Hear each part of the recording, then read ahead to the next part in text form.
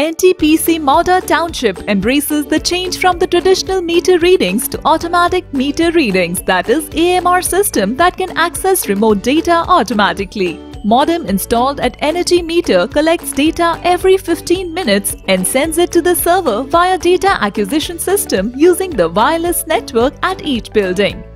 Users can view their near real-time consumption with the official app on their phones. Benefits of AMR system 1. No manpower required. 2. Time and cost savings. 3. 100% accurate and error-free operations. 4. Provides near real-time and historical readings. 5. Power saving via monitoring. 6. Perfects the billing process. 7. Complaints via mobile app. This first of its kind AMR system in the NTPC colony can be used for water meters too. Tech Solar and Systems Power saved is equal to power generated.